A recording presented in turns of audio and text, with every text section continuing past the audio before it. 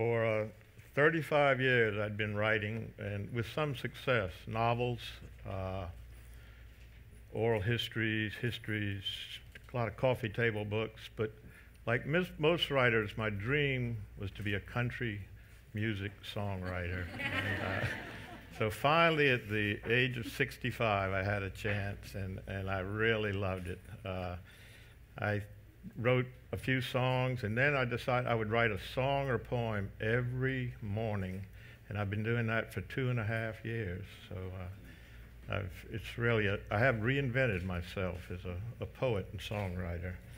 And as far as musicians, I, I'm a lyricist. These these are the actual songwriters, Rut and Mindy, and I, I really was blessed to have them. So I'll, I'll begin with a poem the age of five or six, uh, a lot of people feel that that's when art, that's an artist, that's the age that they draw on. If you want to really reach down, you're looking for the age of five or six. And, and this is what this poem is about. It's called Remembering. Remembering steps from left to right, or right to left, or both, thick legs of elephant and camel hump it boasts the antlers spread near across the room, the snout for ants it waves, or so it seemed when I was young and painted in the caves. But now I've got a Kodak with pixels pink to black, and all the sharp, bright colors can't bring the magic back. You want to seal a moment, then light that torch and come. Some soot and deepest ochre will make the wild things run. And this is Indian Rut.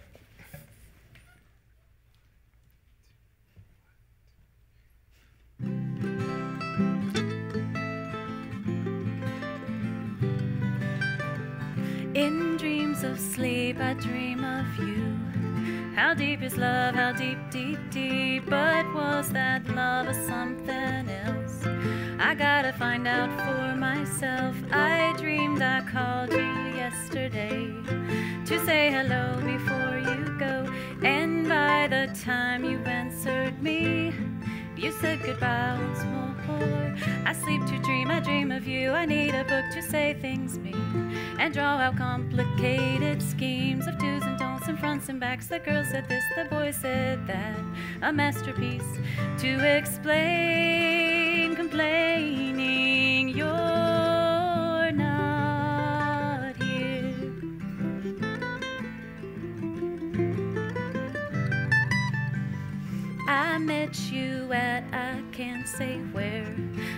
Yourself, you just got there. In dreams, I see you everywhere.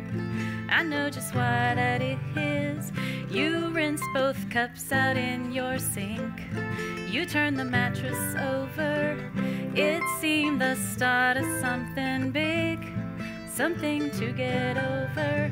I sleep to dream, I dream of you. I need a book to say things mean and draw out complicated schemes of do's and don'ts and fronts and backs. The girl said this, the boy said that. A masterpiece to explain, complaining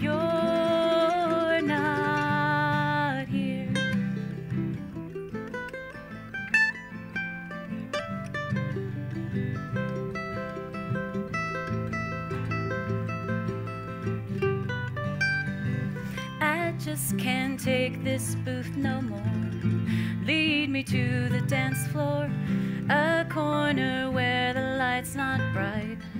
I wanna dance tonight, spend a coin and play a song.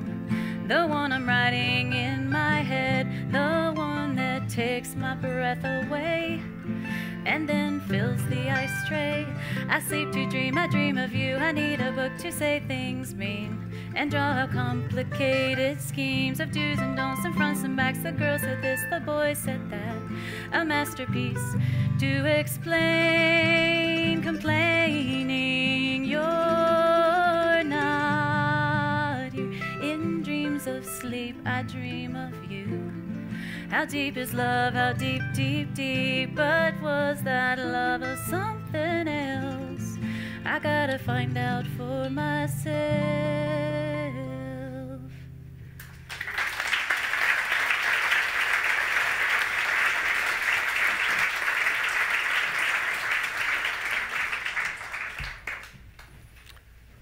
I'm, I'm always amazed at what they can do with, with words on a piece of paper. Uh, that song was sort of very loosely based on a, a Jungian Episcopal dream camp that I went to 20 years ago. And, and the book we used in the dream camp is still on my bedside table. So that's the, that's the dreams. And this, this poem grew out of the split in the Charleston area church, which was resolved a few months ago. And just, just by coincidence, Lee talked about Black River. This is set on Black Mingo, which runs into Black River. It's called Holy. Holy, holy, holy, Son of God, disguised as wayward man, did Jesus Christ trod this strip of white lined concrete, limp at dawn past the Gamecock farm, or cross Black Mingo, stop and have a bear at that place by the county line where they pulled the gas pumps out and left the rest behind?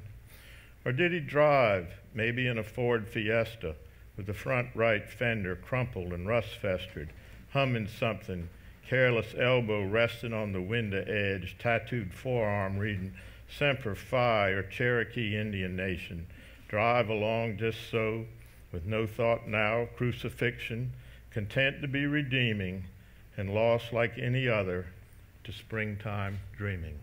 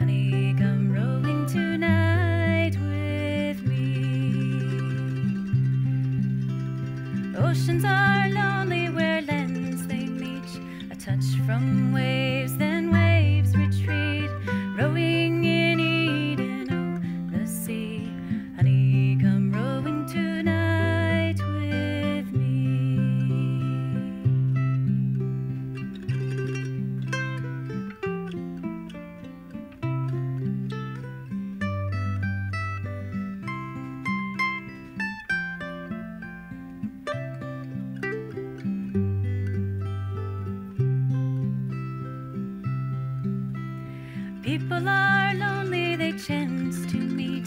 A touch from his hand,